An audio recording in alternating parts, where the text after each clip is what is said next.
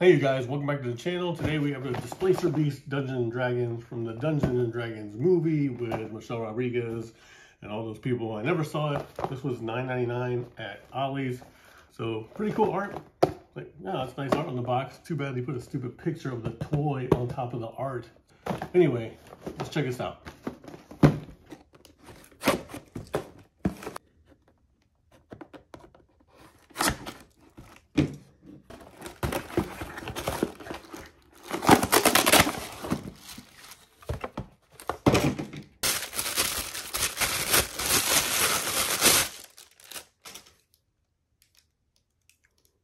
Pretty mean looking beast.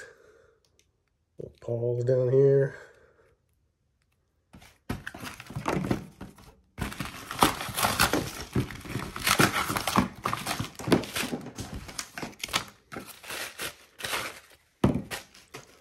Two tentacles that go into here.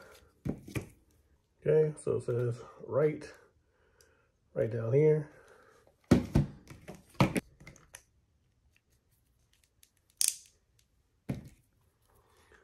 So kind of hard to pop in there. Just gotta adjust a little bit. Tail.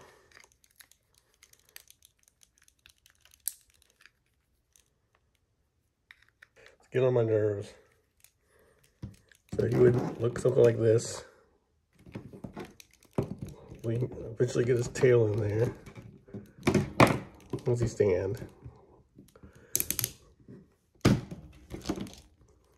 Yeah, this line of figures kind of sucks. You weave them out like that.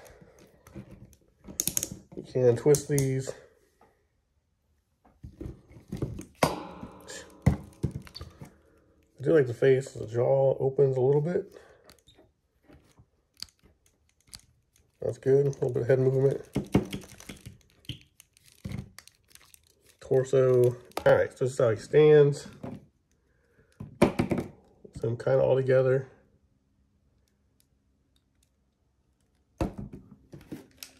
Hey guys, thanks for watching the video on this Dungeons and Dragons lackluster action figure, monster figure. Uh, I wouldn't buy it again if I had the chance. I'd save my 10 bucks and put it towards something else. But thank you for watching and smash that like button, hit subscribe.